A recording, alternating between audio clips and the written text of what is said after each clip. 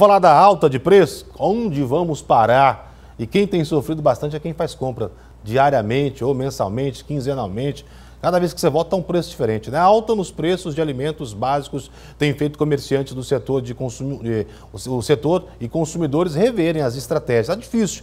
Nos restaurantes, o esforço é para evitar o, repasse justamente dos reajustes, seja na marmita, no quilo, no, no self-service. Já o consumidor tem mirado aí as frutas, verduras e legumes de época para tentar diminuir um pouquinho. Mudança de hábito que pode ajudar a economizar. Veja só. Esse ano geou, quase não choveu no campo e o combustível foi ficando cada vez mais caro. Tudo isso somado à crise política fez o preço dos hortifrutis disparar. Isso quando não faltou o produto na CEAGESP, que abastece principalmente os supermercados. Foi a geadas, né? Foi sentido um pouco, inclusive a gente tem até permissionários aí que um ou outro que não abriu o box né, para comercializar por causa de geada, mas eles é, pegam de outra região e nunca falta o produto, sempre está à disposição do, dos compradores. A Companhia de Entrepostos e Armazéns Gerais do Estado é um dos principais termômetros da economia de alimentos no país. A CEAGESP hoje ela, ela tem um, uma ampliação é, em todo o estado, né? é feita uma, uma, uma, média dos preços na nossa matriz pelo setor da economia e esses preços eles servem de base para o mercado todo no país, tanto para financiamento, projetos, entendeu? O preço nosso hoje serve para o, o, o país todo, né? como referência. Sofre quem está na ponta, é assalariado e vê o preço do Marmitex subir com frequência. Quem prepara as quentinhas como o Auri também se preocupa em perder clientes. Por isso, nos últimos cinco meses, ele só reajustou a refeição em um real.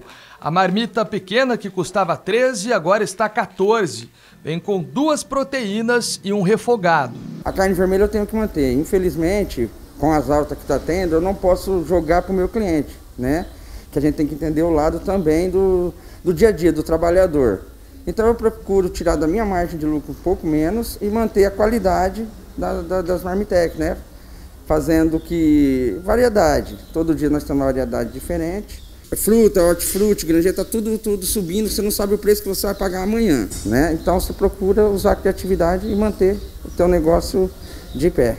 Em agosto, a inflação deixou 72% dos alimentos mais caros.